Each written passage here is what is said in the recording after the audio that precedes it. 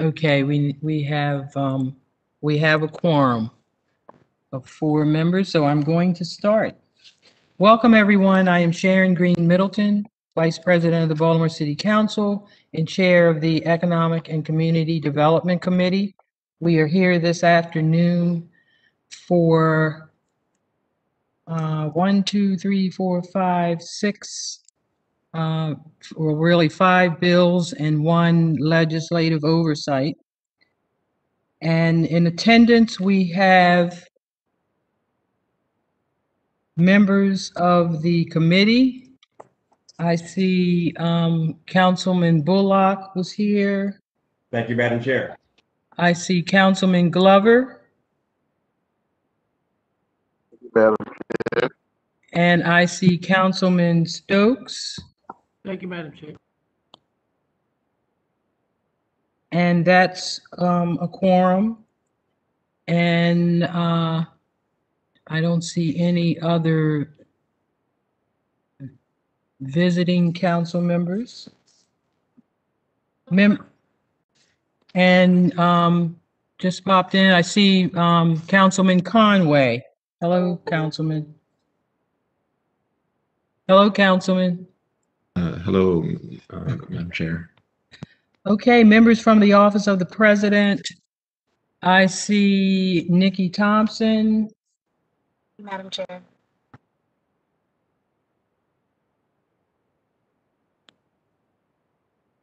and is Matt Stegman here? Or Lucy Font? Don't see them as of yet. Representing the mayor's office? I see um, Nikki Themelis. Thank you, Madam Chair. Did you say Nikki Timberless? Or I thought it was Nina. Um, Nina. Thank you. That's pretty good. Councilman Stokes.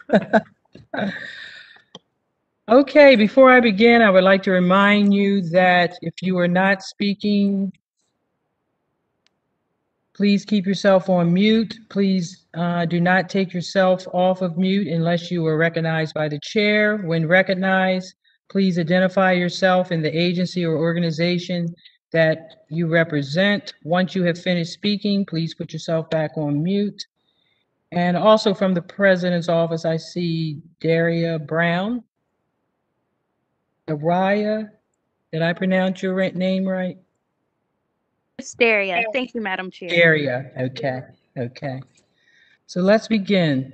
Bill number twenty-one 29 R, approval for the exchange of a Class BD seven license to a Class A seven license, eighteen oh one East North Avenue, for the purpose of providing the required approval to allow the license holder at eighteen oh one East North Avenue to apply to the Board of Liquor License Commissioners to exchange their Class BD7 license for a Class A7 beer, wine, and liquor license. The bill was introduced on March 8th, 2021. The bill is sponsored by Councilman Stokes. Councilman Stokes, you have comments before we move on?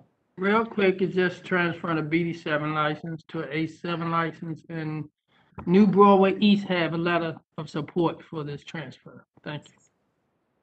Thank you. And uh, we also have present with us uh, Councilwoman Ramos. Thank you, Madam Councilwoman, Chair. Sorry to be late. no problem. Uh, The committee will now hear from the agency representatives, and we'll start with the city solicitor's office. Um, I see Hillary Ruley from the law department. Actually, it's Elena for these bills, uh, Uh, Madam I'm, Chair. I'm That's sorry. okay. Hi, Elena. Hi, Elena, you're on. Okay, so this is the mechanism by which the state law about this particular type of transfer um, requires the uh, applicant to get approval from the city council. So the way you do that is you pass an ordinance that, that shows the council um, approves of this particular transfer. So that's what this is, um, all three of them. Thank you. You're welcome. The um, Board of uh, Liquor License Commissioners, uh, Nick Blendy. Thank you, uh, Madam Chair. And good afternoon. Uh, Nicholas Blendy, Deputy Executive Secretary for the Board of Liquor License Commissioners for Baltimore City. Uh, We stand by our report, and I'm happy to answer any questions that the committee might have. Thank you. Department of Finance. Good afternoon, Mara James for the Department of Finance. Uh, We stand by our report. We do not oppose this legislation. Thank you. Thank you, Mara. Uh, The Police Department, Michelle Witzberger or Shannon uh, Conway?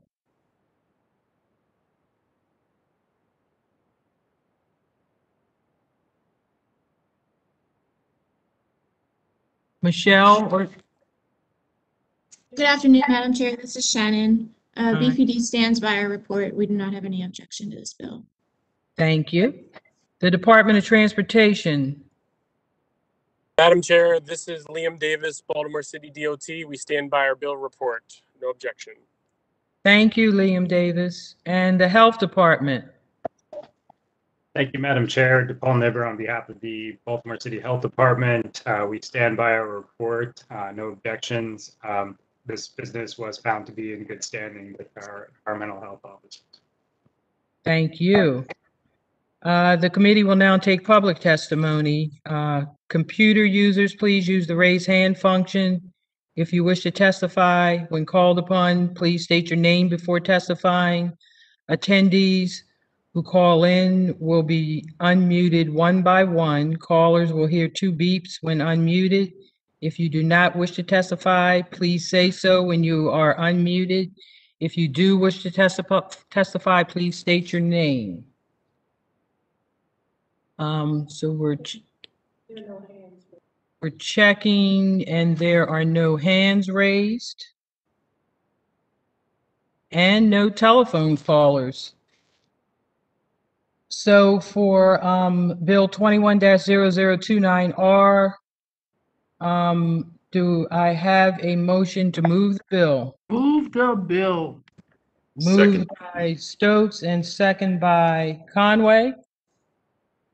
Yes. So that moves favorable. Um, Chair Middleton, yes. Councilman Bullock, Yes. yes. Councilman Dorsey is absent. Councilman uh, Conway Yes. is a yes. Councilman Glover Yes. is a yes. Councilwoman Ramos Yes. is a yes. And Councilman Stokes Yes. is a yes.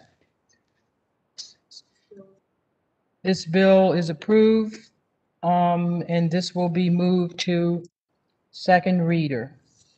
The next bill, twenty-one 30 R, and this is the approval for the exchange of a Class BD seven license to a Class A seven license, and this is twelve thirty-two North Caroline Street for the purpose of providing the required approval to allow the license holder at 1232 North Caroline Street to apply for the board, to the Board of Liquor License Commissioners to exchange their Class BDC 7 license for a Class A7 beer, wine, and liquor license. This bill was also introduced on March 8th, 2021, and the sponsor is also Councilman Stokes. Uh, The committee will now hear the agency reports. We'll start with the city solicitor's office. Good afternoon again, Elena DiPietro, for the City Solicitor's Office. Um, again, we approve this bill for formal legal sufficiency. It follows the requirements of the state law. Thank you, Elena. Um, The Board of Liquor License Commissioners, Nick Blendy.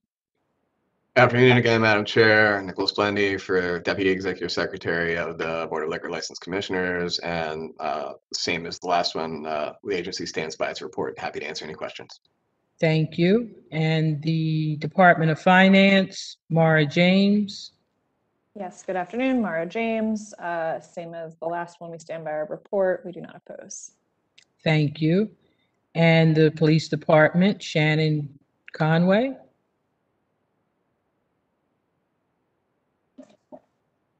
Good afternoon, Madam. Oh, Okay, go ahead, sorry. You can go ahead. Sorry, uh, Councilwoman, I was having technical difficulties during the, the last hearing. Um, we, we stand by our report. Thank you, uh, Michelle Wussberger.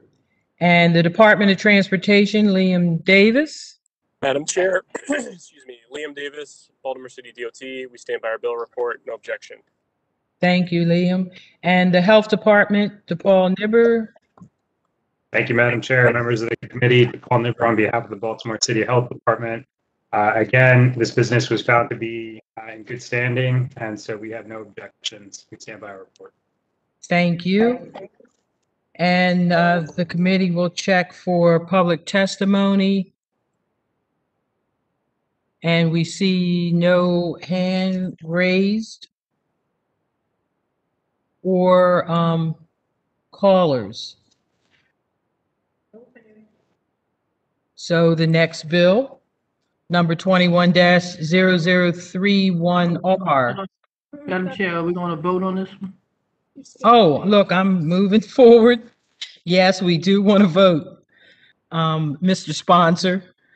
Um, and of course, is there a motion to move the bill? So moved by Councilman Stokes. So moved by Councilman Second by Stokes, Conway. second by Conway. This bo- bill will move uh, favorable. Um, Chair Middleton, yes. Uh, Councilman Bullock Yes. is a yes.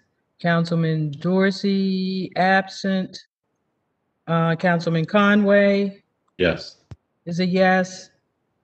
Councilman Glover Yes.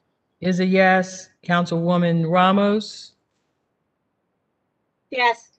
is a yes, and Councilman Stokes Yes. is a yes. This bill will um, move favorable. I mean, it- at the, this bill will move to second reader. And we also have joining us um, today is Councilman Yitzy Schleifer of the Fifth District. Hello, Councilman. Thank you, Madam Chair. And then now we'll move to Bill number 21-0031R, and this also is approval for the exchange of a Class BD7 license to a Class A7 license. And this address is 1041 Greenmount Avenue. And it's also for the purpose of providing the required approval to allow the license holder at 1041 Greenmount Avenue to apply to the Board of Liquor License Commissioners to exchange their Class BD7 license to a Class A7 beer, wine, and liquor license. And this bill was also introduced on uh, March 8th, 2021. And the bill sponsor, um, again, is uh, Councilman Stokes. Can I make a comment, Madam Chair, real quick? Yes, you may, sir. Real quick, all three of these bills, you know, from a B seven to an A seven, but I want um to know that the the community is glad that they co- close at seven, ten o'clock at night. And the people that own the bar are glad they close at ten o'clock at night. So it- it's a win-win for everybody. Thank you. That's good news. Um, The committee will now hear from the agency representatives, and we'll again start with the city solicitor's office, Elena DiPietro. Good afternoon. One last time, Elena DiPietro for the Baltimore City Law Department. For all the same reasons, we approve this bill for form and legal, legal sufficiency complies with the state law. Thank you. The Board of Liquor License Commissioners, Nick Blendy. Good afternoon again, Madam Chair. Nicholas Blendy, Deputy Executive Secretary for the Board of Liquor License Commissioners, Baltimore City. And again, uh, stand by our report and happy to answer any questions the committee might have. Thank you, Nick. And the Department of Finance, Mara James. Thank you. Yes, Mara James for the Department of Finance. Uh, Again, we stand by our report. We do not oppose. Thank you. And the Police Department, Thank you, Madam Chair. This is Shannon Conway with Baltimore Police Department, and we stand by our report and we have no objection to this bill. thank you. And the Department of Transportation, Liam Davis. Madam Chair, Liam Davis, Baltimore City DOT. We stand by our bill report. No objection. Thank you. And the Health Department, uh, DePaul Nibber. Thank you, Madam Chair, members of the committee, DePaul Nibber on behalf of the Baltimore City Health Department. Uh, Again, this bit, this business was found to be in good standing. Um, We have no objections to this bill. Thank you. And now we'll, we're checking to see if there's any hand raised for testimony. And there are not any hands raised, and we're now checking to see if any callers want to testify on this bill. And there are no callers. So now we're moving. We have to vote on that bill. Do I have a motion to move the bill, the last uh, liquor license bill? Moved by Councilman Second Conway. And second by Conway. That moves favorable. Chair Middleton, yes. Councilman Bullock? Yes. Yes. Councilman Dorsey is absent. Councilman Conway Yes. is a yes. Councilman Glover?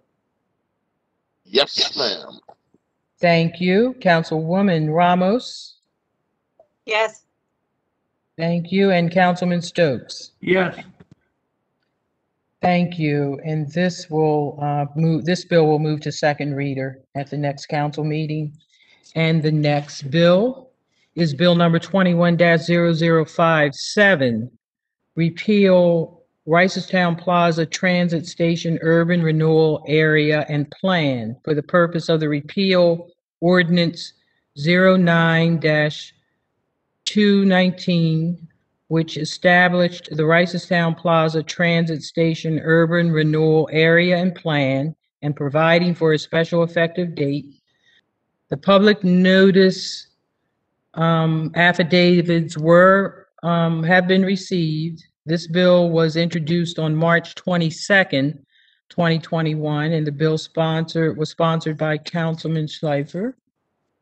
And Councilman Schleifer, uh, do you, would you like to make some comments? Sure. Thank you very much, Madam Chair. Uh, so this bill, uh, for those of us who are um, who were here last term, uh, actually passed through last term, and unfortunately, due to the end of the term, uh, it ended up dying out with a whole series of other bills that did not pass um, fully in time and be signed by the mayor. I'm pretty sure, um, and I guess somebody can correctly correct me if I'm mistaken, but I'm pretty sure it passed completely. It just wasn't signed uh, or vetoed, I guess, at the end of the term. There's no reason to actually veto this bill. Um, the the key uh, reason were that I put in the stuff, um, and I think Caroline Hecker's on here, um, and if if you'd allow her to speak, um, she can give a little bit more details. But I met out at a um, a site in my district uh, with a really great operator who has uh, provides services to low income seniors um, in different areas in the city. And so basically, it's sort of like a a senior day day center where uh, there's activities and other resources for seniors there, and they really help them along with everything that they need to help these seniors uh, age age in place in their homes, which I think um, is something very important that we should do. We have a lot of seniors um, in the city that have been living in the same homes for 50 years. Uh, and it's our responsibility as elected leaders to do everything we can to help them stay in their homes um, and to you know be where they want to be. And so um, this this program really is excellent. Uh, the site couldn't be couldn't be better uh, for their use. And in fact, all of the neighbors around there uh, have been in full support of this project. Uh, so it really was just an unfortunate timing, uh, and so that's why I have reintroduced it. And I, you know, respectfully ask that the committee uh, approve this bill. Uh, Thank you, Councilman, and we'll have Caroline on as soon as we get through the agency reports. Okay, thank you. Um, The committee will now hear the agency representatives, and we'll start with the city solicitor's office. Um, It's Hillary. Uh, Hi, Council- Hillary. Yes, we stand by our report. There's uh, no legal issue with this. Thank you. The Planning Commission. Good afternoon, Madam Chair, members of the uh, committee. This bill was referred to the Planning Commission and heard by them on April 22nd. Um, and as is mentioned by the sponsor, it was uh, a returning bill. Um, we recommend favorably for the repeal of the URP. Um, it was originally uh, created in 1981 and then was redone in 2009. Uh, then our comprehensive rezoning of the city came through and, and became effective in 2017, which again put the plan back out of date because it refers to everything in the old zoning code. Uh, so without needing to go through a complete comprehensive update of the urban renewal plan, uh, we believe that a repeal is the more prudent way to go. Um, just by way of background, with many of our urban renewal plans that had design controls and special use controls, things of that nature, uh, we attempted to take the best of those and put them into the new zoning code. Uh, so we now have a design manual. We now have required design reviews for certain things. Uh, so we think that that's covered uh, by the basics of the zoning code and that this plan is no longer necessary and recommend its repeal. Thank you. Any questions to the Planning Commission from the committee? Moving on, um, the Department of Housing and Community Development, and we have Stephanie Murdoch. Yes, thank you, Madam Chair. Stephanie Murdoch, Legislative Liaison for DHCD. We stand by our bill report. We have no objection to the passage of this bill. Thank you, Stephanie. The Department of Public Works, Thank you, Madam Chair. Marcia Collins, representing the Department of Public Works. Uh, We are here in support of the legislation. Thank you. thank you. Um, the Commission on uh, Historical Architecture and Preservation, better known as CHAPS. Do we have a representative, either Eric Holcomb or Stacy Montgomery? And I don't have a report from them as well. So we have no report. Um, is, does the, um, I don't think it's in Natasha, the CHAP district. okay. The Baltimore Development Corporation, Madam Chair, uh, good afternoon. The Baltimore Development Corporation supports uh, the passage of Bill 210057. thank you. Dave Garza. And the Department of Transportation, Liam Davis? Madam Chair, we stand by our bill report. Uh, excuse me, this is Liam Davis, Baltimore City DOT. We stand by our bill report, no objection. Thank you. Thank you, Liam. Um, we'll now take public testimony and we'll start with Caroline Hector. Hector, do you want to make comments on this particular bill or are you waiting for the next? Um, Good afternoon, Madam Chair. Caroline Hecker, Rosenberg, Martin Greenberg, on behalf of the applicant. Um, I'd just like to thank Councilman Schleifer very briefly for introducing the bill and for his introduction of what it's supposed to accomplish today. Um, I uh, am here with Victoria Campbell, who is my client, the contract purchaser of the property. Um, I think maybe the, the meat of the, the application is probably better for the next hearing on the rezoning bill. Um, but this bill and the rezoning bill that follows it are introduced together as companion bills. We need both in order to authorize the proposed adult daycare use at this location. So um, I'm happy to answer any questions, but we can go into more detail with the next bill, with the rezoning bill. Okay, you are kind of, we can hear you, but you are kind of muffled a little bit. I don't know where that's coming from, but um, we, I think we did hear you. Uh, Any, any questions on this particular bill from the committee?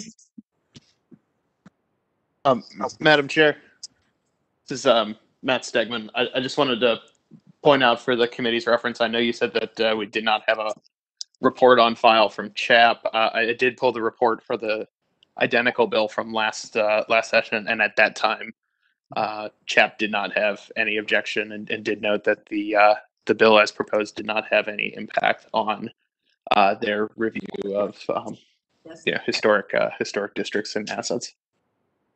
Thank you, Matt, for giving us that added information. Um, so there are no amendments to this bill. Is there a motion to move the, the, um, oh, look, I'm skipping over, checking for public testimony first. Any other public testimony? Rate, use your raise hand function.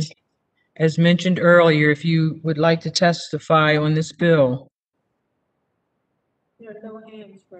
And I see, and there are no hands raised. So, Madam, Madam Chair, um, if I may, uh, Ms. Campbell, who's in the attendees, Um, she, Okay. she's the applicant, so I'm not sure if you wanted to Or elevate call her. in. It's up to you. So, okay, Ms. Campbell, are you unmuted? Hello? Ms. Campbell?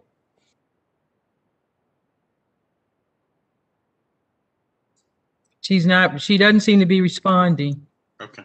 So are there any other callers present that would like to testify? Okay, she's still not responding. Ms. Campbell? Let me unmute her again. They're going to try to unmute her again. Ms. Campbell, can you hear us?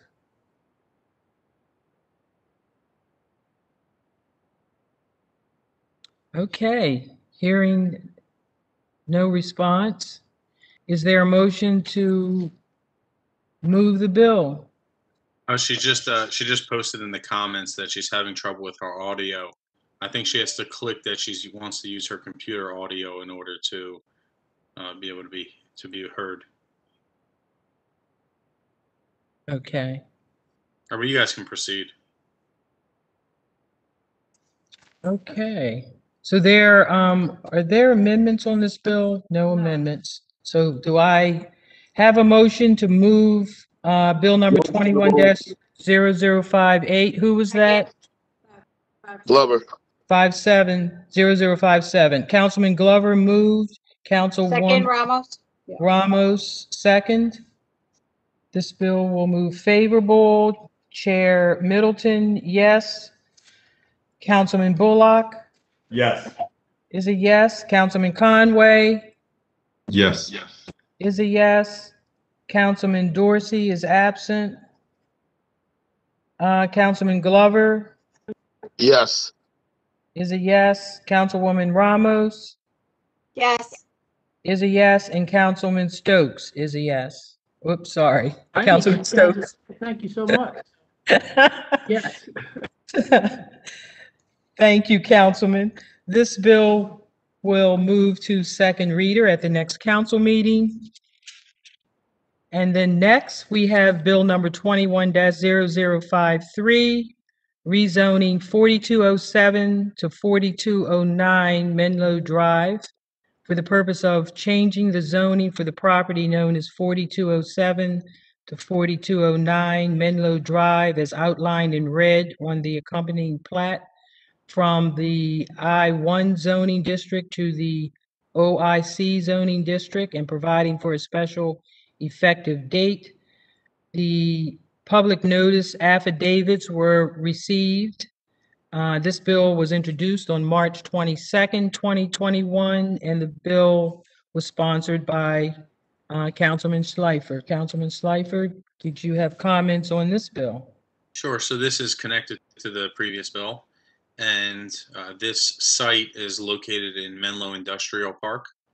Uh, so right off of Reisterstown Road uh, on Menlo. And the site had been vacant for some time. And so this is a welcome addition to come and uh, bring it back, bring that site back to life. Um, I see that Miss Campbell, uh, the applicant, uh, just switched over to her phone. So uh, when you get to that part of the hearing, I think if you try to unmute her, then she'll probably be able to speak. Thank you. Okay. You're finished your comments on this bill? Yes, thank you. Okay. Ms. Campbell, are you, can you hear us? Hold, hold on. Ms. Campbell, can you hear us? Yes, I can hear you just fine. Okay, Can so you hear we me? have, yes, we have moved into the Menlo Drive bill, but I understand your comments are going to be on the previous bill? Or On- this bill? the- It's all, yes, on this bill and previous, yes. So, um, go ahead, I'll allow you to do your comments so we can move on with the agency re- representatives. Okay. Um, as this project is, I'm very passionate about just because of the services we can offer our seniors in this area, the 21215 corridor. Um, we're, we were successful in having a zero um, positive rate in the during the pandemic and was able to keep our clients' medical appointments and outings and intact without exposing them to the coronavirus. Um, I think it's going to be a vital function for the Menlo project because of the the, the vast of senior homes we have in the area and the long-term residents that are coming out of the nursing homes and now looking to come into the community um, to provide the medical services that we offer. Um, I like to pride ourselves on a one-stop um, facility where we give the somatic medical needs, the psychiatry, the case management, the medical, the medical assistance, the insurance, the Medicare. They're getting all of their services in the community while being safe and being transported to and from wherever they need to go by providing virtual and one-on-one sessions. So like I said, it was a vital part in the 21215 corridor for it to work. Um, we have 125 clients currently. This space would allow us to have 250 more. So it definitely was a huge impact, I believe, when the um, pandemic started. We got every client in the facility vaccinated, um, and we were able to open up as soon as the Governor Hogan in May 1st released that adult daycares could have opened. Um, it was definitely a tragic time when we did close down May 17th, but that did not stop my services. I still was able to transport the client's medication, provide them virtual learning by bringing the tablets to their home, um, providing food services while we were while we were down. We never stopped. Even though the funding ceased, I continued servicing all 125 of my clients and was able to successfully bring them all back. With the Menlo project, we will be providing over 80 jobs by providing, we'll be giving 250 more residents the same services that we're currently doing at the Bannister location. So I know with the urban repeal, it's certain zones and the way how it's the way how it's coded now that it's industrial, but this place was a church and was able to provide the services and before it was grand before the new zoning laws took place. So I'm just hoping that we can be able to restore back the old zoning, um, rezoning that it was that, it was prior, so that we can service the area once again. Thank you so much for your um, testimony. That was important. Um, um, I just I just have one question. Where where are you located now? I know you're moving to an area. Where are you where you been located now, presently? Same 21215 um, location. We're not moving. Um, it just would be Oh. a second location. A Bannister second. Road. Um, it would be a second location for us. Um, Okay. It would, um, off Spring Avenue, right behind Sinai. We receive most of LifeBridge clients, um, along that area. And we do, re- John Hopkins is another provider of ours, um, and Bon Secours. So we're all, we're, we get a lot of referrals from all area hospitals. And the nursing home has been, we've been inundated because all the clients are now being shifted from long-term care to the adult day setting because they realized that was the most effective way to move through the pandemic. Thank you, and thank you for that clarification. So it's a second location. Your testimony is important. Um, uh, Councilman Schleifer, any, any further comments, or we can go ahead and move on to the agency reports? No, I- we can move ahead. Thank you. Thank you. So we'll go ahead and start with the Planning Commission. Um, Eric Tiso? Good afternoon again, Madam Chair, members of the committee. Uh, This bill is again referred to the Planning Commission and reviewed by them in their public meeting of April 22nd. Uh, Unfortunately, the Planning Commission had to recommend disapproval. So when we look at rezonings of property, uh, we're obligated to look at the uh, state required standards for rezoning. Uh, and We don't believe that this one quite meets that. And again, uh, you know, it's not a particular applicant. We have to look at the property and and the surrounding context uh, in- in general terms. Uh, So we understand this was uh, an available property, uh, but it is industrially zoned where the daycare use is not a permitted use. Um, As was mentioned, religious institutions are permitted in the industrial districts. Uh, There was a uh, a big case in 2000, uh, Religious Land Use and Institutionalized Persons Act, which uh, required um, that to be, have religious uses anywhere you can have public assembly. So that's the reason why that was permissible the previous zoning code would continue today. Uh, Without going to too, too much uh, detail, we're uh, in essence concerned that um, designating the single property as an OIC, an office industrial campus, uh, in the middle of the I-1 uh, zone is, is not an appropriate rezoning. Uh, We worry what it will do for the rest of the industrial district. Um, We believe there are other commercial properties uh, that could be available. Uh, We don't see a particular uh, call for this individual property to be rezoned. Um, And there's more details in our staff report, but we we believe it just falls short of uh, the required findings to support a rezoning. Thank you. So that was disapproval from the planning commission. So committee, I think it would be important to, uh, as I go down the list for agency reports, before we, uh, if you have any questions, I think we need to hear out the, um, remainder of the agency reports. And, um, and then also go back to Caroline Hecker and then um, I, that's when I think we can phrase any, raise any questions that you have um, to the agencies. So we'll go ahead and move to the Board of uh, Municipal Zoning and Administration. Is anyone here representing that department? Madam Chair, Nina Themelis with the Mayor's Office of Government Relations. Uh, A representative from BMZA was not available to attend this afternoon, but they do defer to the recommendation report of the Planning Commission. Thank you. Uh, And then the Department of Transportation.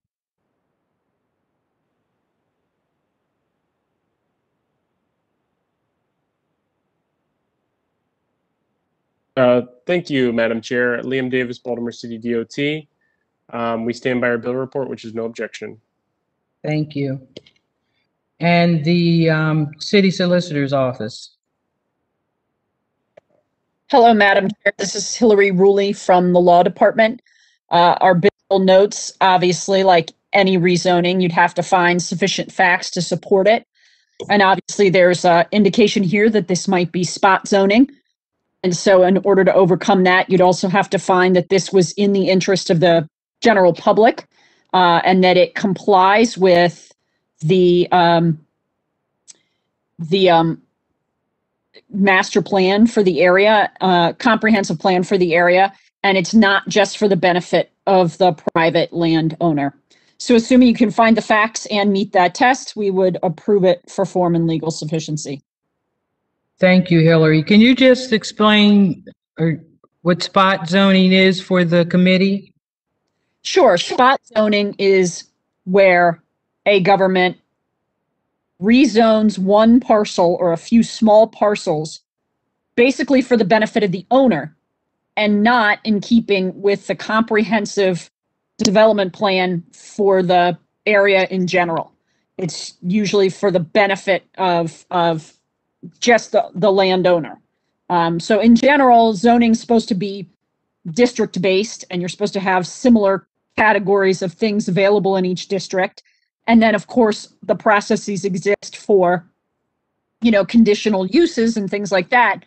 Or you can rezone. And if you're not rezoning comprehensively, which the last time we did that was transform, if you're rezoning on a piecemeal basis, you have to find that the last comprehensive rezoning either uh, it was a mistake to zone this property in a particular way, or that the whole area, the neighborhood has changed so much since transform that it doesn't make sense anymore. So you have to find one of those two in every single rezoning. But when there's an allegation of spot zoning, there's someone's, you know, there's facts to indicate that perhaps this doesn't meet the city's comprehensive plan. And that's what Mr. Tiso testified to. This looks like spot zoning because it does not meet the city's plan. So in order for be legal, you'd have to show that it, that it does meet that plan and it's not just for the private interest of the owner. Thank you, thank you, Hillary, for explaining that for the committee. Uh, Moving on to the Department of Housing and Community Development. Stephanie Murdoch? Yes, thank you, Madam Chair. Again, Stephanie Murdoch with the Department of Housing and Community Development. We stand by our bill report, which was in deference to the Law Department. Thank you. And now uh, BDC, Baltimore Development Corporation. And I was looking for Dave Garza. Okay, so we don't have Dave Garza on, but it, um, Nina, did you want to speak for the, for BDC? Uh, Madam Chair, it looks like David Garza from the BDC is on as an attendee. He must have gotten um, kicked off or had some technical difficulties if he can be elevated to speak. Okay, uh, Dave, you're unmuted. Hello? There seems to be some problems. Hold on.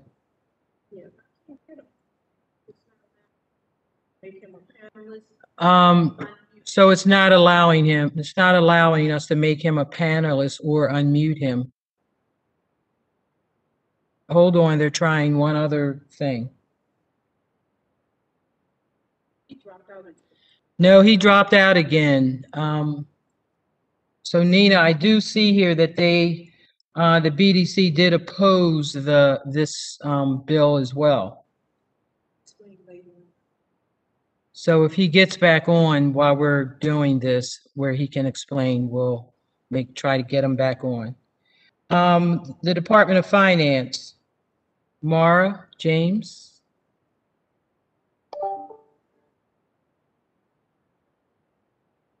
Um, good afternoon, Madam Chair. I believe we were referred this bill somewhat in error. We don't um, usually get rezoning bills, so we just Okay.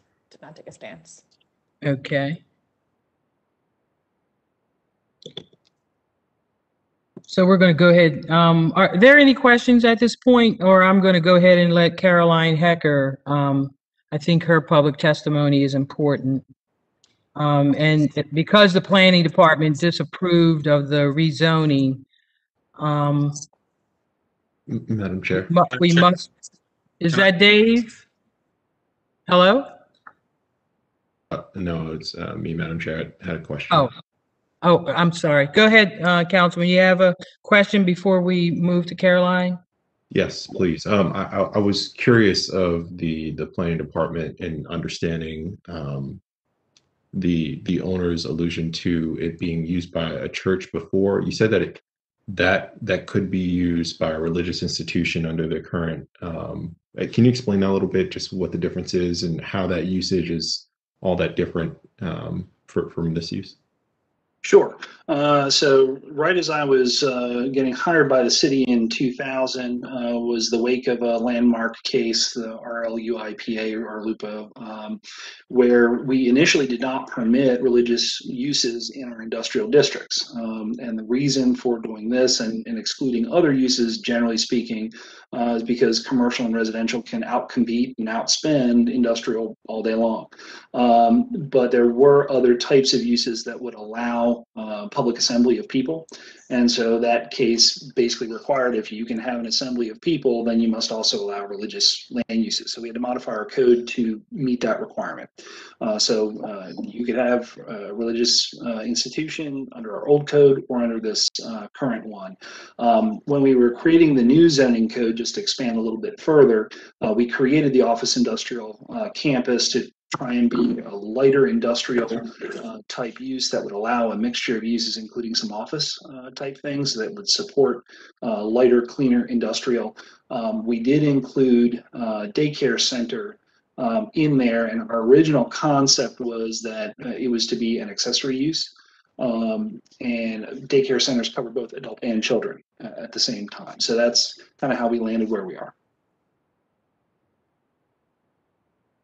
So, um, and, and this industrial use could, um, and maybe this is not this case, but if, um, if you had uh, a warehouse industrial use, uh, and they wanted to put a daycare for their employees there, would that be covered here? Uh, if they were in an office industrial campus, that would be permitted, and that was the reason for selecting this zone to satisfy this particular client's needs.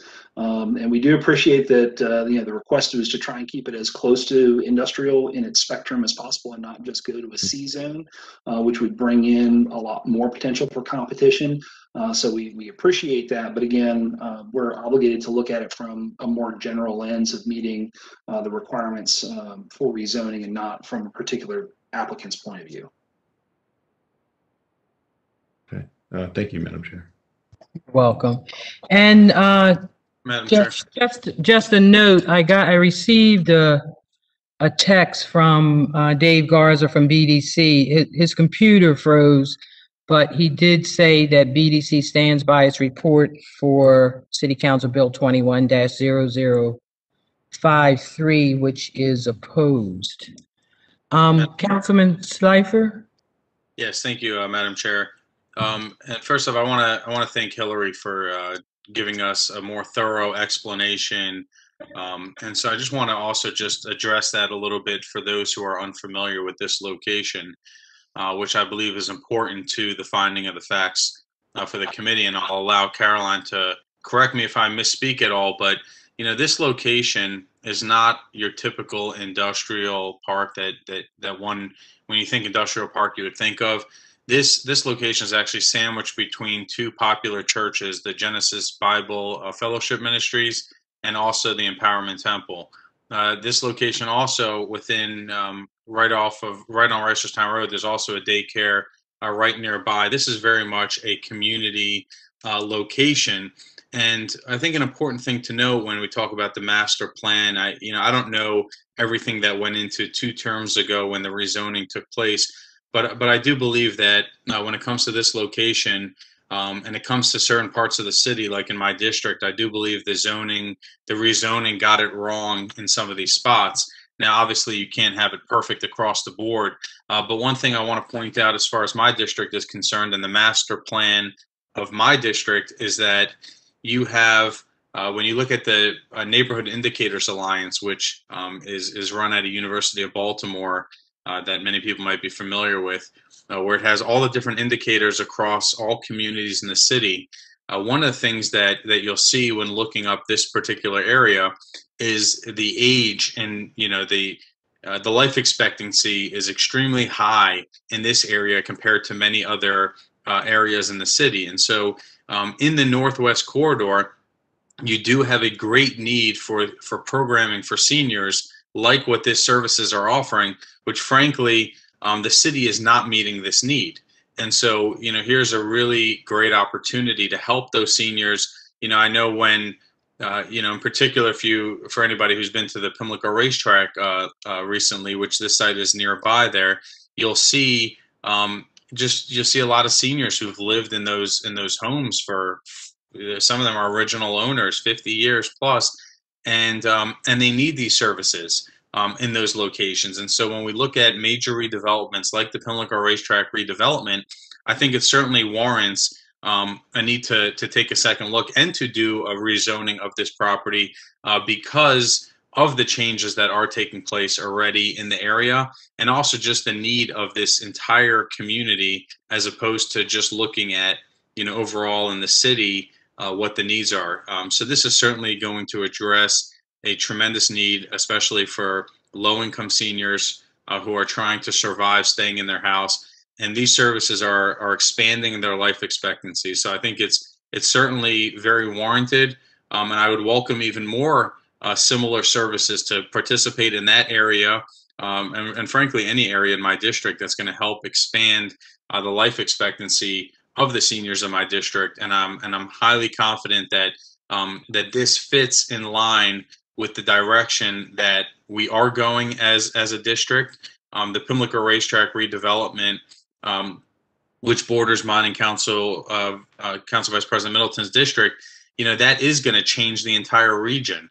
And so uh, to look at you know what was you know what was done even five years ago, in my opinion, is is severely outdated. Uh, considering this whole racetrack redevelopment uh, is as recent as really this past year, and so um, so I, I, do think the finding of the facts uh, should reflect that this is, is certainly an appropriate uh, rezoning. But I'll, I'll defer to Caroline because uh, lawyers always have a different a different angle on it. Uh, thank you, uh, Councilman. And before we put on Caroline, I just want to say because the Planning Department disapproves of the zoning, um, we must provide testimony regarding the required findings. And um, a copy of your written findings were sent to committee members and so now we're going to have Caroline Hecker give her testimony of the findings and other um, important information that uh, needs to be heard. So Caroline, you're on. Thank you, Madam Chair. Caroline Hecker, Rosenberg, Martin Greenberg, on behalf of the applicant Victoria Campbell, who is the contract purchaser of the property. Um, Councilman Schleifer sort of stro- stole my thunder a little bit in terms of what the, you know, the basis of the proposed rezoning is. Um, but just as a refresher for, for those council members who were part of the former city council, this bill was passed by the council in the last term, and unfortunately, it was not signed by the mayor at the end of the, um, the council term. Uh, but we're basically doing a little redo this term, but, um, you know, the, the, the findings that the last city council made are very similar to the findings that we're asking the council to make today. I did submit written findings as, um, Madam Chair alluded to, and I hope you've had a chance to read them, but I'll, I'll go through them in a little bit of detail. Um, as a preliminary matter, this is not a total change in the type of zoning district that exists there currently. What we have today is the I1 zoning district. And what we're proposing is the OIC zoning district, which is another type of industrial district. It's not a commercial district and it's not out of character with what's there. And there is case law that says that where you have a property that's being reclassified from one subcategory within a type of district to a different subcategory, then there's a, a more liberal standard applied. It's a little bit easier to approve a rezoning when you're you're rezoning from one subcategory to a different subcategory, which is what we have here. Now, as Councilman Schleifer suggested, um, there have been significant changes since the Transform Baltimore rezoning, the Pimlico redevelopment, um, and there's also the redevelopment of the Reisterstown Plaza Transit Station, which was announced in 2019 after the um, Transform Baltimore had become uh, effective. And with the redevelopment of these two projects, we're going to see a huge increase in residential um, in residential use and in mixed use throughout this corridor. And I think it's appropriate that the zoning change to accommodate these types, you know, these types of uses that can support the increased residential uh, capacity in the area. Um, I know that the the specific proposed use as an adult daycare is not directly relevant to the rezoning and you know the, the rezoning stands independently of, of who the actual user is and what's going to occur there. But this is a case where we have a, a user who offers a service that's particularly important or has been particularly important during the pandemic to allow seniors to age in place in their homes. Uh, the way that, that they operate is that they they um, pick them up in the morning, they bring them to the, the daycare facility, they see all of their doctors and dentists and physical therapists and psychiatrists, psychologists, all of those um, service professionals all visit the patients, the clients in the daycare center. Um, and then they're returned home to their, their families in the afternoon. So there, there isn't traffic coming in and out that would interfere with other operations nearby. Um, and it really allows these seniors to to go. Uh, it's it's you know one stop shopping for their their healthcare needs. They they go there during the day, and they're cared for all day long. They return to their families in the evening. They're allowed to stay home. As Ms. Campbell indicated, they had a zero percent positivity of, of the, the COVID um, illness among the patients. And so they've, you know, they really had great success with this while similar nursing homes were having really astronomical positivity rates. So it's worked really well and it's it's something that the community really needs to see, particularly again as the community is shifting to even more residential and more um, you know mixed use from its its former industrial roots. Now, in terms of the specific findings that the, the committee and the city council is required to make, um, there has been a shift in population. This um, census district has seen a growth of about 400 people, uh, which is you know not not an insignificant increase within a census tract. So there clearly is an increase in population occurring. Um, there are available public facilities. The area is well served, and the, the rezoning of this property to the OIC district won't have any negative impact on the availability of public facilities. Um, there, with the the Reisterstown Transit Station, there are um, you know adequate and probably more than adequate uh, transit options. This will not have an impact on transportation patterns, particularly as I mentioned, this particular use. Uh, they, you know, they they control all of their own traffic with their own vans in which they use to to pick up their patients and bring them to the facility. The facility, the property includes a large parking area for their their vans, so they don't need to park on the street or interfere with traffic of other operators that are coming and going. Um, This proposed use and the proposed rezoning is compatible with the existing and proposed development for the area, particularly the Pimlico redevelopment and the Reisterstown Transit Station redevelopment. Um, We've heard from the planning commission and the zoning board on their, their recommendations, and obviously respectfully, we disagree. And I do think that this is consistent with the city's master plan, as Councilman Schleifer testified. This is really, you know, goes entirely in line with what is proposed for this area generally, um, you know, with the other redevelopments that are occurring in the area. Um, with regard to the other factors that the, the council is required to consider, um, the existing uses of the property within the general area. Yeah, there, this is a, you know, it's, it's an area that's zoned industrial, but it isn't strictly industrial uses that, that we see in this area. It is more of a mixed use and, and having the property zoned OIC will allow some additional flexibility, you know, whether it's for this use or for a future use, uh, that goes along with the other other types of uses that are in the area. There are religious institutions, there are carry-out food facilities, and there's a large office complex within the, the a few blocks of, of this property. Um, you know, and, and similarly with regard to the zoning classification of other properties in the vicinity, you know, there are commercially zoned properties within a block of the property. They're within three blocks of residentially zoned properties. And we're within a few blocks of other OIC and other transit-oriented development zone properties. So there, this is clearly an area that has a mix of, of use types and a mix of zoning classifications. And the OIC that's proposed for this site is not out of character with the, the surrounding area. Uh, the property is suitable for the use in question. It, it, it works beautifully the way that it's laid out. Um, as Ms. Campbell mentioned in her testimony, it was previously used as a church. It's it's essentially a big um, you know, vacant shell that can be fit out in, in any number of ways uh, to support the proposed use. And uh, because it contains its own parking port within the property, it won't have any impact on uh, the neighboring properties in terms of spillover parking. And then finally, on the, the required findings, the uh, trend of development in the area, as, as I've indicated, it, has shifted significantly since Transform was enacted with the, the proposed redevelopment of the Pimlico project and the Reisterstown Transit Station. Um, you know, this, this area really has seen a substantial change in the character of the community, and it is continuing to see that type of change as, as residential uses become more and more um, prevalent in this area. And then finally, I would I would add a point about equity because the Planning Commission has taken um, they've started studying this a lot more the, concept of equity and rezoning, um, and and so it's sort of heightened my awareness of it. But I think there's a really strong argument to be made that having these industrial areas be limited to purely industrial uses puts a burden on the nearby residential communities that that is arguably inequitable when they don't have access to this type of Uh, to the types of services and, and uses that can support the residential community. It forces them to go farther away and to look harder and have, have a more difficult time to find the type of services that they need to support the residences. Whereas if you have a more mixed use area, which is what we're proposing, more mixed use type of, of zoning for this property, it creates a, a greater opportunity and more equity for the residents of the surrounding residential areas to get the services that they need.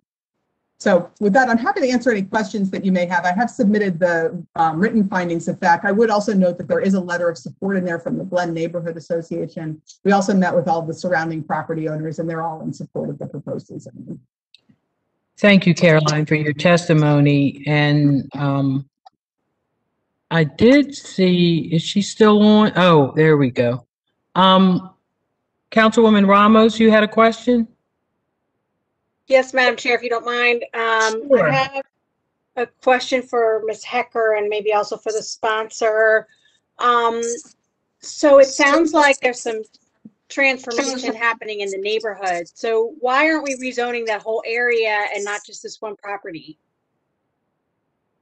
It's a fair question. Um, from from my client's perspective and my perspective, you know, we we only control the one property. We can't go around rezoning our neighbors' properties. I agree with you. I think that the area probably could have been and should have been rezoned to the OIC district as part of Transform. I think it would. I think there are certainly facts available to support a rezoning of the entire area right now.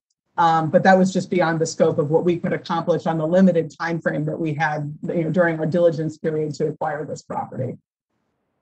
Yeah, and um, I, I agree with that. Um, I do believe that we that we should, uh, but you know, that obviously would take a lot, a lot more resources and a lot more time. A lot of the local uh, business owners and others there would su- would fully support that.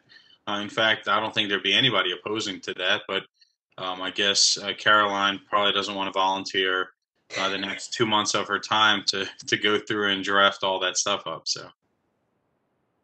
Okay, and then, um, are some of the properties around there already, are, are, are all the properties, um, occupied that are around there?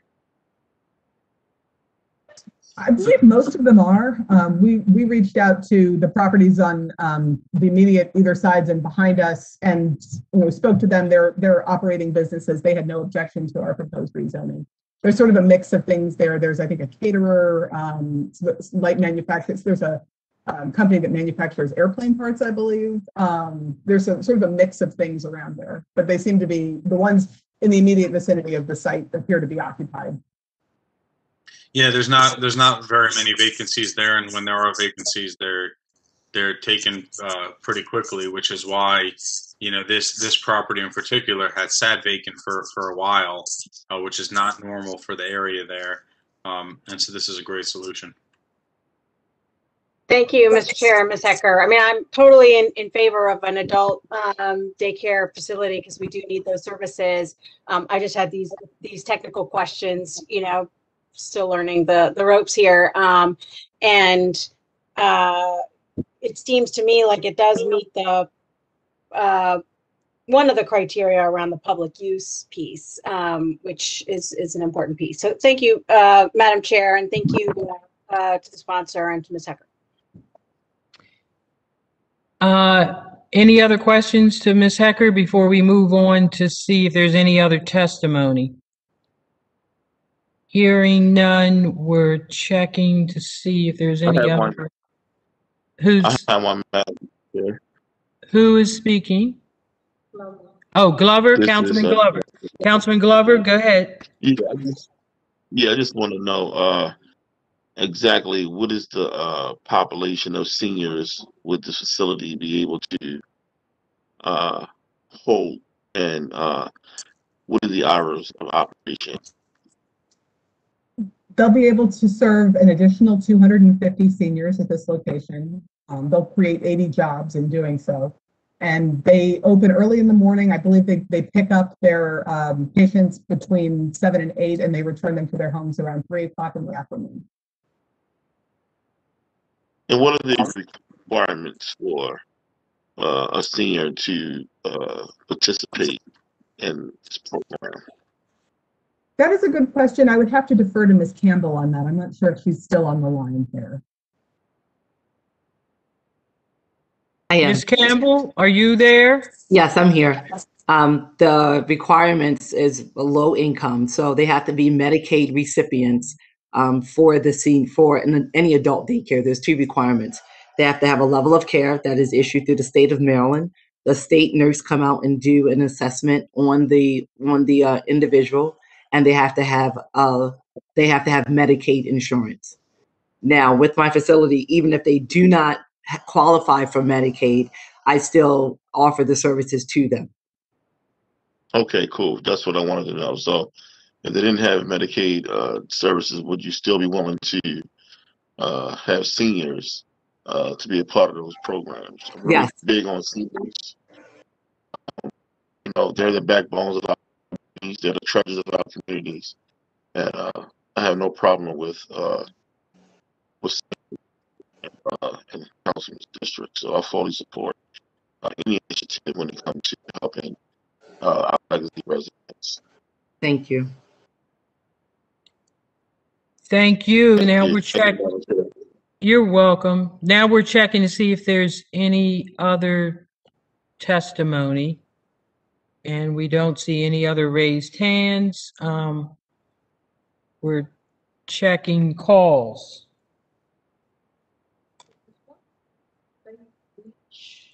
Faith, Faith Leach, are you here to testify on this bill? Faith I am not. Leach. Oh, okay, thank you. That's it, Madam. Okay, that's it.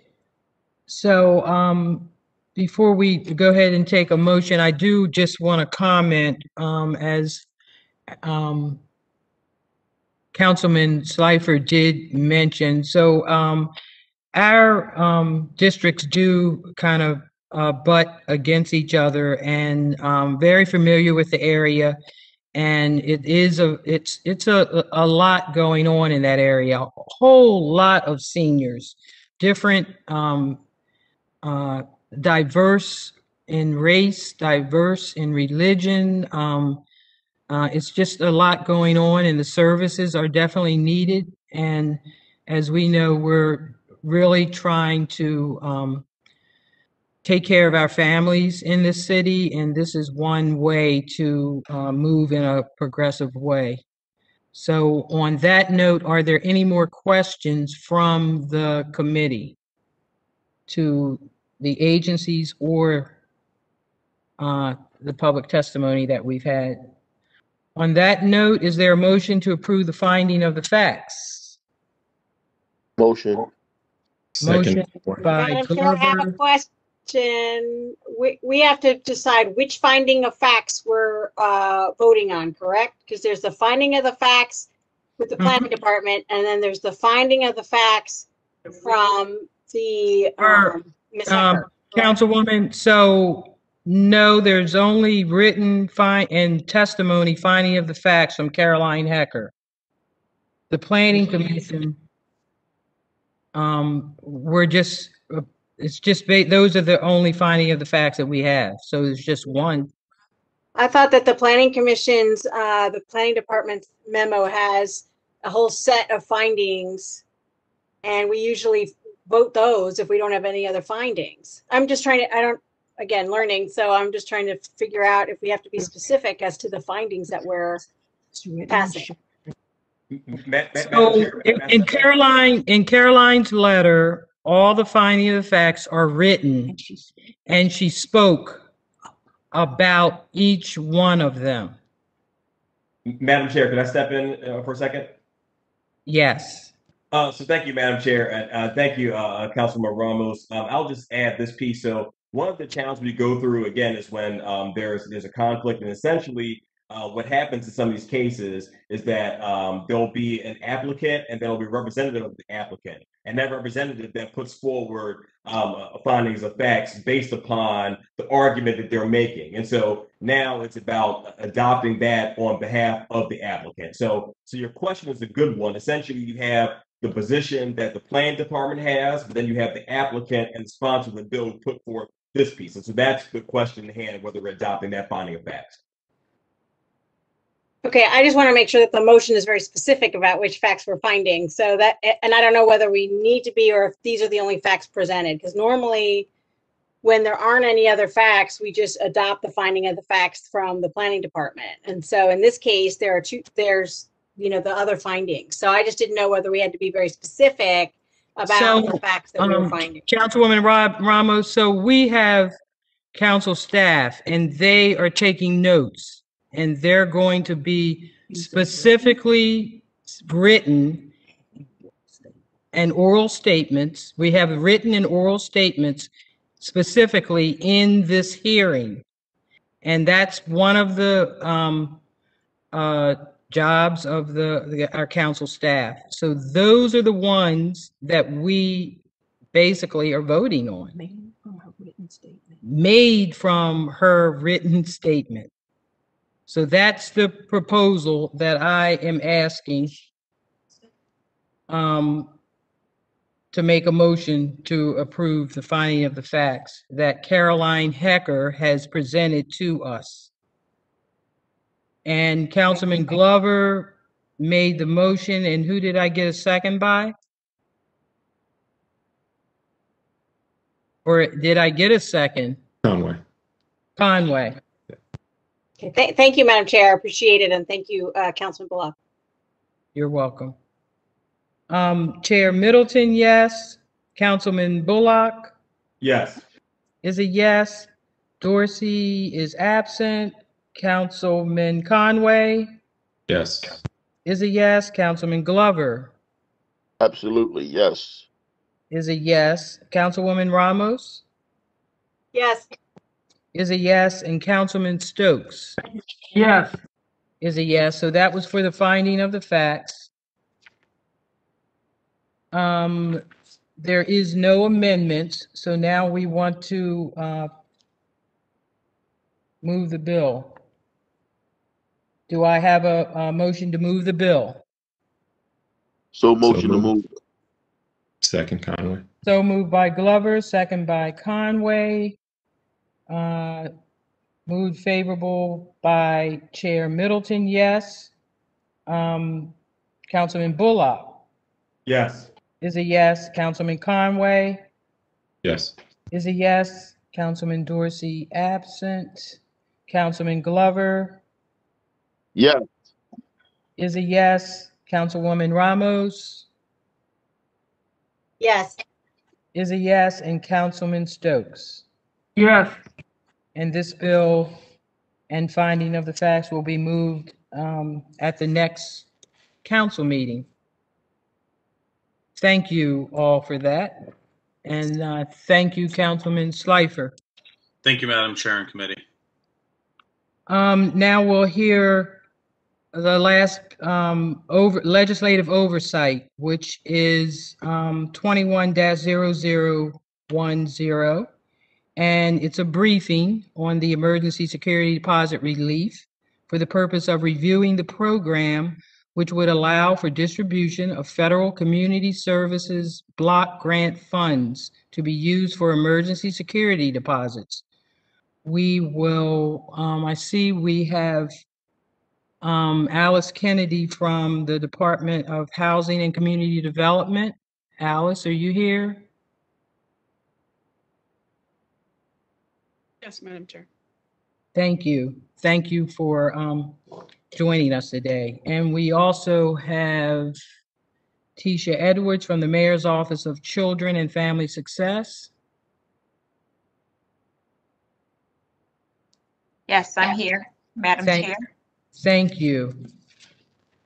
And uh, we'll go ahead and basically, um, who would like to start first? I'm happy to start. Uh, This is Tisha Edwards, um, Executive Director of the Mayor's Office of Children and Family Success. I want to thank you, um, Councilwoman Middleton, for giving us an opportunity uh, to apprise the council and the public of this um, initiative that was um, announced uh, by Mayor Scott just recently. I think it was a week or two ago at this point. My days are a little blurry. Um, but uh, very recently. Um, and, um, you know, I'm happy to give a very high level overview of the program, Councilwoman. Does that work for you? Yes, it does. And I just want to announce that we're not taking public testimony. This is just a briefing. So Okay. put that, okay, go ahead. Great. Thank you for that clarification. So, um, Councilwoman Middleton, this is really in response um, to what I think we all agree is an overwhelming need to make sure that we continue to work towards um, housing stability in Baltimore. Uh, and uh, because of COVID, we want to make sure that we have every available resource uh, pointed in that direction and that we don't have uh, families moving into homelessness and that we do provide the support that they need um, so that they're not in our shelters, they're not in our homeless um, system, and that there is um, housing available to those who are in need. So, in effort to meet that goal, um, the mayor did um, uh, announce that we would start a security deposit assistance initiative. That program will launch in the fall. Um, and we are using our community services block grant resources uh, to fund this initiative. Um, families in need who meet uh, the income requirement, which is an income at 125% of the federal poverty level, um, will be eligible for up to $2,000 in um, security deposit assistance. Um, in addition, uh, families would need to be moving into um, uh, locations that are registered and licensed uh, within Baltimore City have a lease uh, to prove that they uh, have uh, reached an agreement with the landlord for the location um, and provide documentation. That documentation can be cited in the lease um, that um, there is a security deposit requirement. Um, as I said, this is a relatively recent announcement. There's still a lot of additional policy work that we need to do on the back end to make sure that we have uh, the program ready for the fall and to make sure that it is compliant with um, community service block grant um, resources. But these are resources that were awarded to um, our CAP centers uh, to support housing stability in response to COVID. And so this is a natural good use uh, of those resources. Thank you. And um, Alice Kennedy, did you want to add to that? I can. Uh, good afternoon, Madam Chairs and members of the committee. Alice Kennedy, Acting Commissioner for DHCD. Thanks for the opportunity uh, to just um, speak briefly about this and the expansion of uh, Baltimore City's eviction prevention program to include uh, designated funds to cover the cost of security deposits for uh, Baltimore City renters. Uh, DHCD regularly um, partners with the Mayor's Office of Children and Family Success to ensure that all Baltimoreans have safe and stable housing. Uh, we've worked together on the eviction prevention program as well as other programs uh, related uh, with the CAP centers and social service programs between DHCD and MOCFS. To that end, uh, DHCD will work closely with all the partner agencies to ensure that all rental units that apply for this program are registered and licensed with DHCD. Uh, this was a requirement under our temporary rent, sub program, rent support program, uh, which launched last summer in response to COVID 19, which then um, was a pilot program that led to the creation of the eviction prevention program. Baltimore City requires all residential units to be registered, inspected, and licensed to ensure that they meet basic safety and maintenance requirements. And you know, to receive that rental license, you have to meet two requirements to be registered with DHCD and also to be inspected by a state licensed uh, Baltimore City registered home inspect, uh, inspector. And to that end, we are um, supportive of MOCFS's efforts on this and we'll work closely with them as they look to implement the program. Thank you. So I know that, you know, we're at the beginning of this. We received the, um, you know, the announcement from the mayor. Um, I, and I'm, I don't know if some of my committee members have any questions. So I know there's still some work that you're working on, but I, if I have a few questions that I want to ask, and if you can a- answer them now, and this is both um, Ms. Edwards and and you, uh, Alice. Um, my first question is what what was the reasoning behind choosing um, eligibility to include those at 125% AMI? Uh, thank you for answering that question. That is a um, funding requirement of the state grant. So CSBG dollars do come with certain requirements um, to make sure that we are meeting the needs of the target population. Any programming that we use um, CSBG dollars, we do have to have certain income thresholds. And so this is the threshold dictated by the state in order for us to, to access these resources. Okay. And then another question, um, what's the reasoning behind applying to um, city-approved housing? What constitutes city-approved housing? So I'm going to defer to Commissioner Kennedy on that because her agency leads the um, licensing process. Okay. So the um, Madam Chair, the city approved uh, speaks directly to what I uh, just discussed in terms of the city's uh, licensing requirements for rental Mhm. units. And Mhm. this is something um, that we um, utilized during the temporary rent support program and would not provide uh, temporary rent support um, to a, a property that was unlicensed um, during that time, given that um, technically unlicensed uh, rentals are not legal and um, a landlord um, should not be uh, receiving funds from a tenant to rent that space. And we want to ensure that um, all rental units are licensed across the city and safe. And we will work with MOCFS um, and work with landlords that, you know, we, we did this through TRS and we can look to do this with MOCFS as well, is that if an unlicensed unit arises, we would be made aware and also try to work with the landlord um, to bring them into compliance with the law. Do you, do you happen to have the current state of city-approved housing stock? I In do actually. Okay. So um, we have right now currently there's about 28.3% of the properties are licensed, which actually represents 63.4% of all units. So we have the property, um, the licensing is done by the property, but we know that a property can have uh, multi units within that property. We use the American uh, Community Survey data from 2016, and that uh, lists 100 and lists us having 130,615 occupied rental units within the city. Um, so we calculate that to be around a total of 66,424 rental properties. So um, we Will that, will that meet our demand, do you think?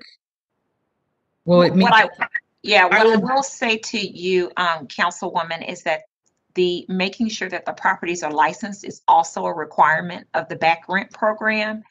And Mhm. landlords who are not licensed have been very willing to get licensed in order to receive the city subsidy. So we found great success and we have not seen this as a barrier um, to accessing the uh, programs. Now, there are cases when tenants are being pursuing um, uh, locations that are un, that are not habitable, um, and it is it is not suggested that they be in those locations. And if they're not habitable, then that raises a whole nother issue. But for the most part, we've had a lot of success working with DHCD in those um, locations that were not previously licensed. We're seeing this as a great incentive um, to get those um, uh, locations um, licensed. And I, I just want to commend um, Commissioner Kennedy and her team because they've been turning around those licenses rather quickly. Um, And so we have not seen that as a barrier at all in the workflow and access to resources. So is there an appeals process for the renter if their application for security deposit assistance is denied? So we have not gotten to that level of detail yet. That's one of the things that we will need to work through with the state. This is a program where we received an initial okay, but we've committed to coming back to them with some policy considerations. Um, and so once uh, we have those further, deeper conversations with the state, I think we'll be able to to speak more clearly to whether a, an appeal process is appropriate uh, for this program.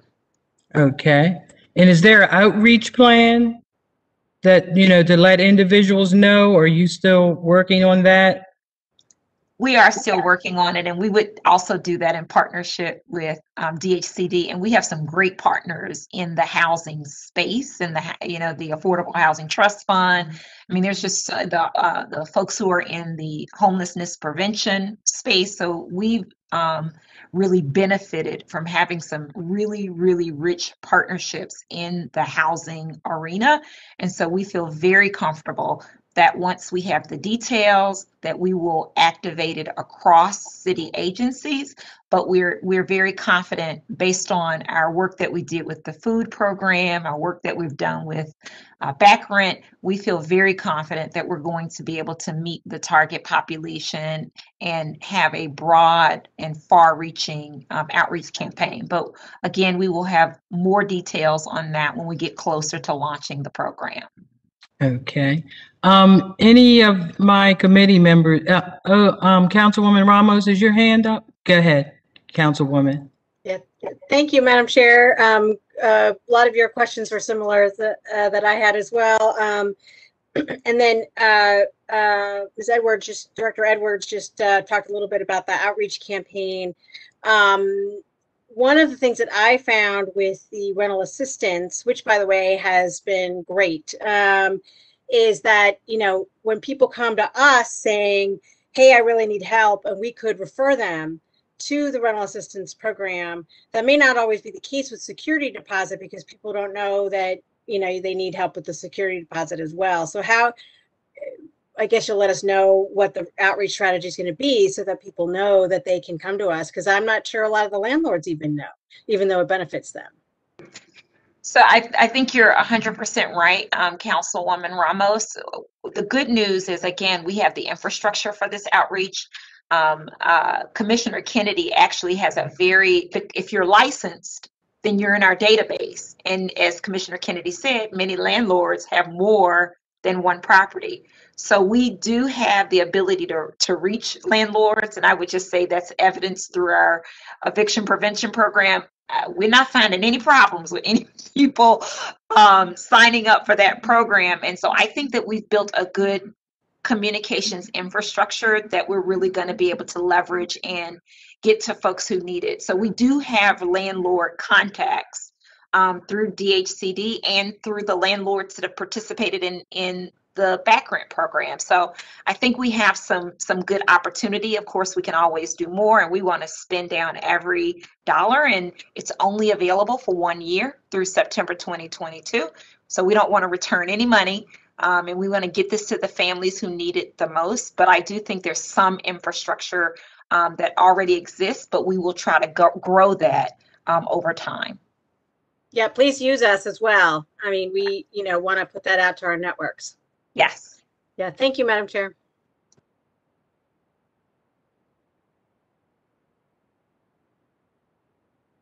Sorry, I was, I had to unmute myself. Any other questions from the committee? So again, I want to, um, I want to thank, uh, the administration and I want to thank particularly, um, Alice and Tisha for you, um, uh, taking the time to, to do this briefing. Um, as you know, we, there's two important bills coming up with the council and that's, um, on the Security Deposit Act and then that's June the 29th. And then there's also, um, another bill coming up on, uh, I think it's July 13th. And, um, you know, I, I think we have shown how the, this is very important to the council and we definitely want to be partners and work hard together in getting the help we need for the families in our city. And um, it, we want to start, you know, with this. This briefing is very important to us. And it also important, I'm, I can see it's important to the both of you because you took your time um, in coming to this briefing and just sharing. So we're all excited and uh, hoping that this can be iron can be put out in the community as soon as possible. And we all 15 members of the council are ready to assist you the best way we can. Um, on that note, um, if there's no more questions from the council, um, this uh, meeting is adjourned. Thank you.